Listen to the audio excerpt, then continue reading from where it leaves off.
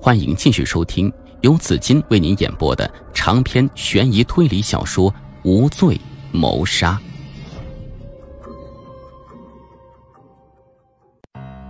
他不用再往下说了，所有人都明白他的意思。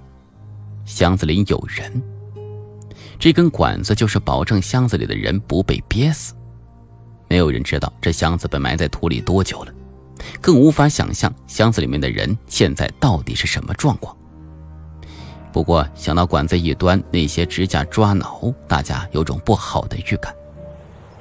蒋雨欣紧张地抓住丁钱的胳膊，尖尖的指甲几乎陷进他的肉里，他的声音都在颤抖：“我妹妹，我妹妹在在里面吗？”丁钱看了看杜志勋。杜志勋弯腰，把拉杆箱的拉链拉开，慢慢的掀开了箱盖。所有人都屏住了呼吸。箱子里呈现出一个蜷曲的女人，她手脚上绑着绳子，一动不动的缩在箱子里。在她手里还拿着一个手机。小韩，蒋雨欣不顾一切扑上去，想把妹妹从箱子里拉起来。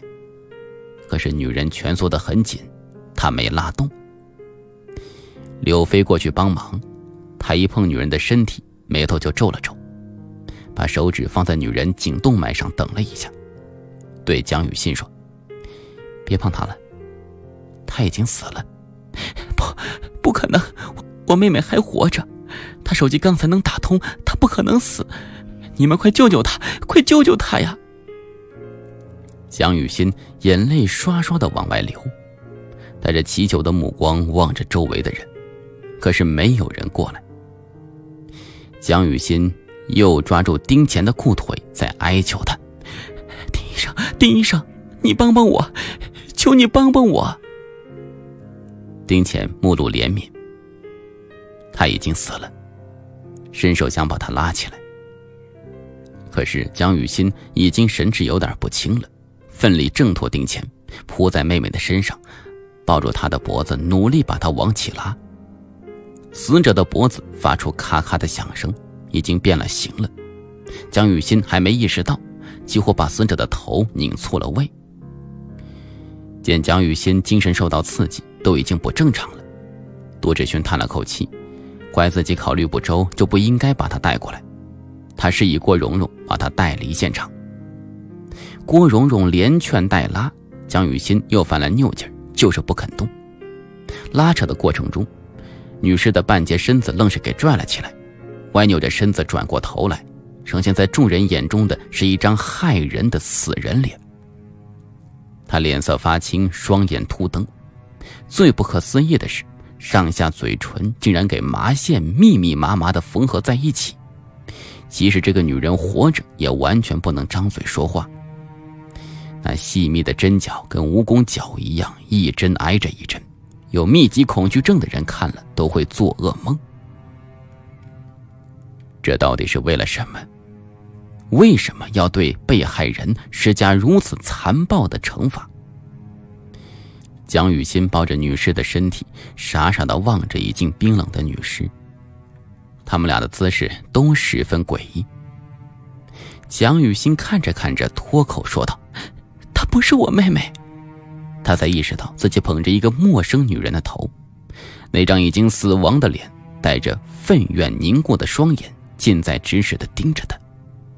悲伤化作遍体恐惧，他慌忙松开女人，女人斜斜的靠在箱子里，那双圆瞪的眼珠依然盯着蒋雨欣，吓得他连连尖叫起来。郭蓉蓉急忙把他拉到远处，让他平静下来。其他人都默默注视着女尸。尤其是那张被缝合的嘴巴，他们从来没见过这样古怪的死法。虽然还不至于吓成蒋雨欣那样，但也是不禁暗自心惊。几乎没有人注意到丁钱，从挖出拉杆箱那一刻，他的表情就很不自然。当他看到蜷缩在箱子里的女尸的时候，脸上几乎失去了血色。他还从来没有如此惊慌过。只是靠着强大的意志力来保持平静。杜志勋忽然扭头，目光不偏不倚的落在丁乾脸上。这个家伙就像有第六感似的。你怎么了，丁医生？啊，没什么。丁乾尽量平静的回答。杜志勋的话里似乎隐含着什么。听说丁医生之前也参与过很多刑事案件，不至于被一具尸体惊到吧？还是经历过类似的案子，触景生情了？你想多了，杜组长，还是多把心思放在这具尸体上吧。丁乾的脸色已经很难看了。杜志勋不再追问，回过头又看看尸体，对柳飞说：“你检查一下他的嘴，先是在死前缝上的，还是在死后？”柳飞倒是不怕女尸，他戴上乳胶手套，在死者嘴唇上摸了摸，仔细观察穿线的伤口，说道：“死前缝合的，伤口已经出现几层结痂。”估计是被害人嘴巴被缝上之后，曾经用力想张开嘴，结果撕裂了刚刚结痂的伤口，新流出的血又慢慢的结痂。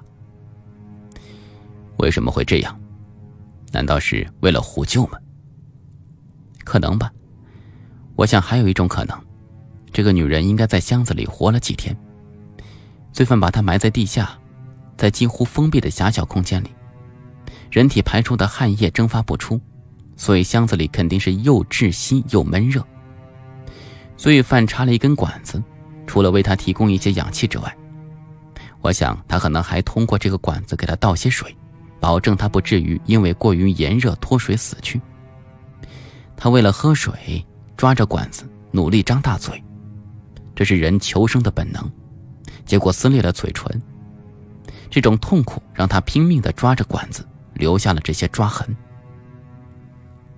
柳飞面无表情地分析着，即使面对如此凄惨的被害人，他也没有流露出女人常有的脆弱。尸检的时候，他尤其像一部冷酷无情、没有任何情感的电脑，只管机械地输出信息。